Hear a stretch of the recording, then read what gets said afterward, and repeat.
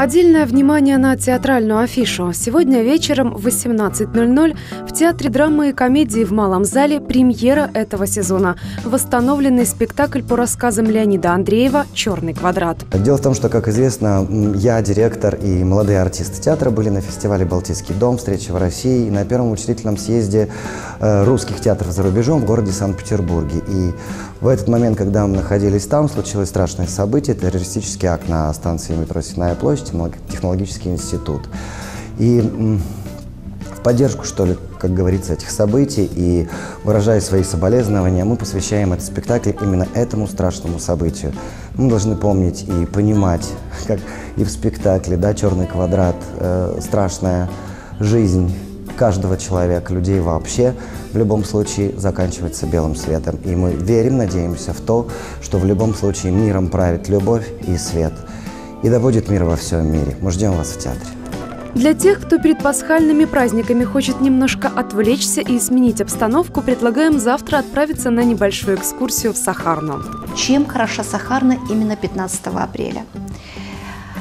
Ни одной экскурсионной группы на маршруте – монастырь аккуратный, чистый, вычищенный источник чудес, э, вычищенные тропы. Поэтому, конечно же, очень удобно. Никого нет э, ни на холмах, ни в ущелье. Можно посмотреть и увидеть спокойно и 22 водопада, и источник чудес, и подняться на гору Гремидон, загадать заветное желание, которое обязательно должно исполниться. 19 апреля в 13.30 детей и их родители приглашаем в культурно-досуговый центр «Мир» на театрализованный спектакль «Тайны лесного озера».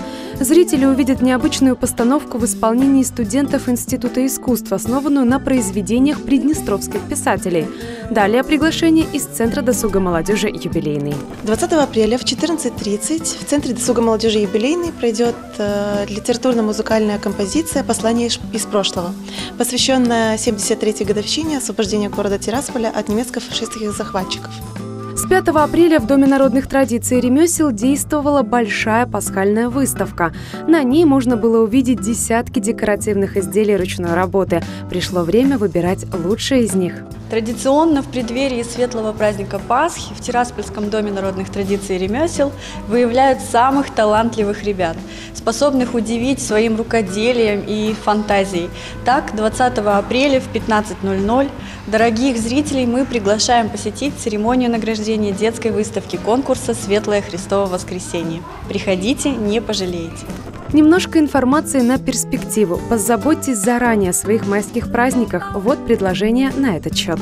30 апреля э, приглашаем посетить э, небольшой городок под названием Ханчешты, то есть это бывший Котовск, и посетить э, дворец, э, дворец армянина.